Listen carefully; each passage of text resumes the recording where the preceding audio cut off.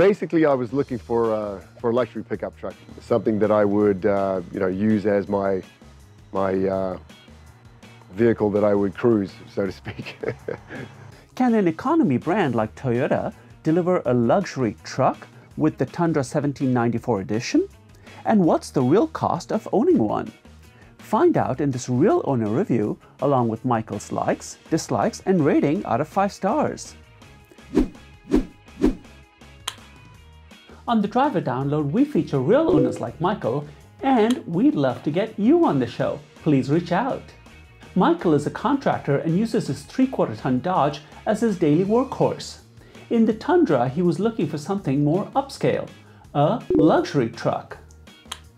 Luxury truck two important words that define this vehicle. Let's start with luxury and see if the 1794 measures up.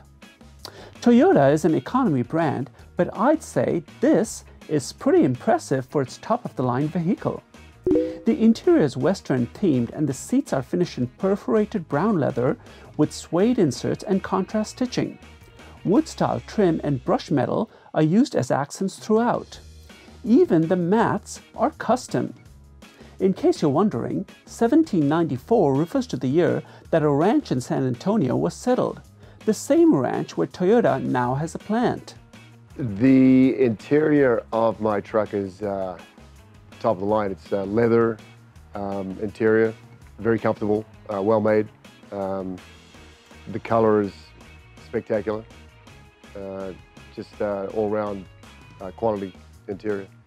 The only letdown is the steering wheel which is a standard Toyota issue and despite the wood trim, feels cheap. But it's not just finishes that define luxury, it's technology and conveniences too. So, how does the 1794 fare? The Toyota Safety Sense package comes standard.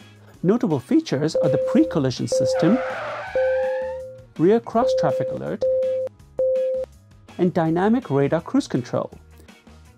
There's also navigation, a backup camera, and a power rear window.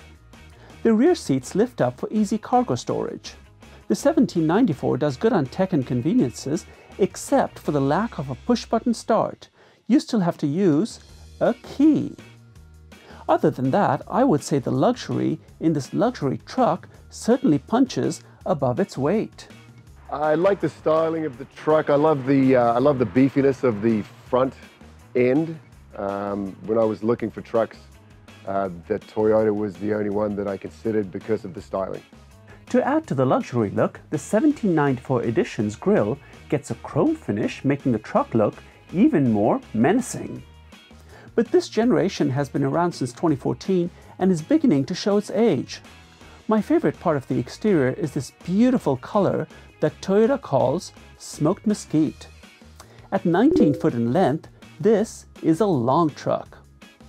You probably noticed those custom oversized wheels and tires that Michael added. How are those working out? It uh, tends to be noisy because of the tread on my tires. They're uh, an off, they're all-terrain wheel uh, tire, um, so highway noise is uh, is excessive, I would say. Yeah, but around town it's fine. So let's get to the truck part of luxury truck.